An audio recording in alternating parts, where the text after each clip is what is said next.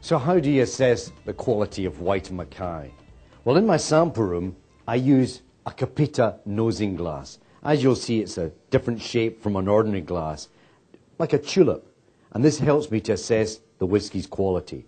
So first of all, I want to say to you, if I ever see you holding a glass like this, or nosing it like this, I'll kill you. Because what you must do is really assess it professionally. Let's take a glass. Okay, let's take a bottle of Whyte Mackay.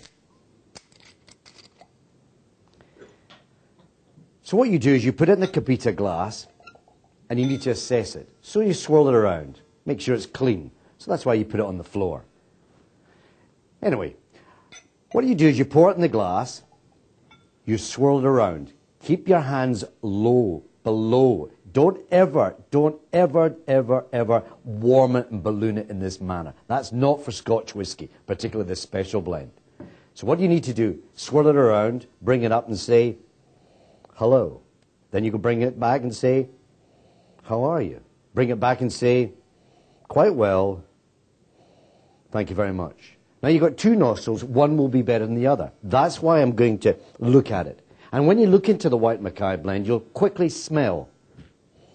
It's not just the smell of an individual malt or an individual grain, but it's a combination of both. That's why when you bring up and say hello, the alcohol hits your nose first. So you go back to it to see it, to assess it. Because when you smell it, it's a combination of these wonderful malt whiskies and grain whiskies brought together by the double marriage system.